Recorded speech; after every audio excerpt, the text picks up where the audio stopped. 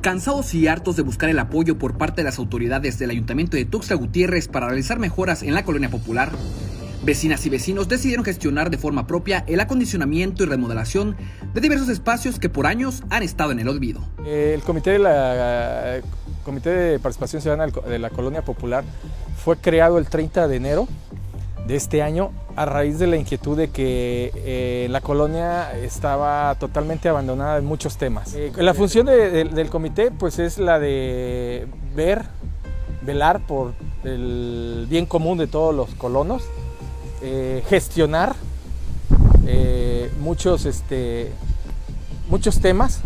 Existen temas que pese a las denuncias ciudadanas no han avanzado y mucho menos solucionado quedando en promesas de campaña y visitándolos nada más cuando necesitan el voto.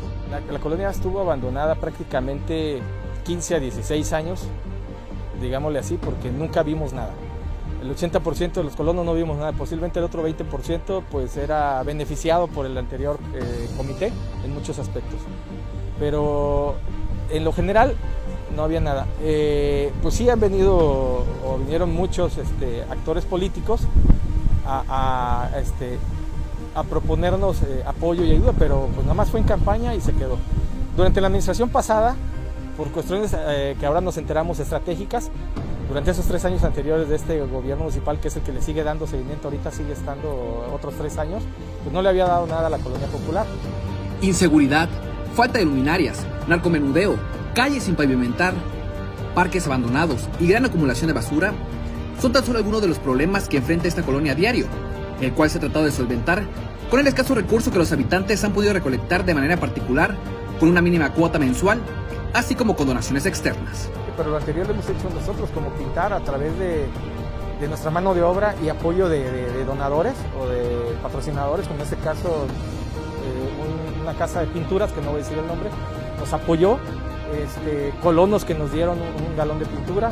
Eh, mano de obra de algunos este, colonos en, cuanto a albañilería y en cuanto a fontanería.